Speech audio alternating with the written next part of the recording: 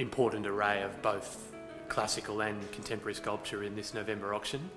We have uh, domestically scaled examples by Rosalie Gascoigne, Bronwyn Oliver, Bruce Armstrong. Uh, from the classical genre, we have Bertram Mackennal, uh, Herman Hohaus, and uh, Arthur Boyd from, from the modern period. We're lucky enough to have monumental examples of, of major sculpture in marble, bronze, and stainless steel by Robert Klippel, Jacques Lipchitz, and uh, Inge King, respectively. The Inge King is uh, perhaps the one that's the most interesting to explore.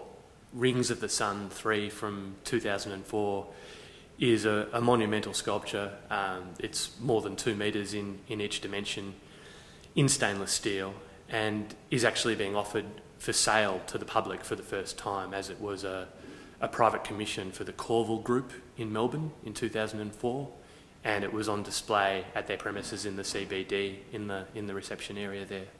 Rings of the Sun 3, um, it originates from her Celestial Rings series which was created in 2004 in stainless steel and other examples from the series are actually held by the National Gallery of Victoria in Melbourne, uh, Heide Museum of Modern Art also in Melbourne, and uh, the National Gallery of Australia in Canberra. This series, it's what Sasha Grishin describes as inhabited sculpture. So these are objects which aren't meant to be viewed purely in, in isolation, but for people to get up close to and observe and uh, for the sculptures to actually engage with their physical environment.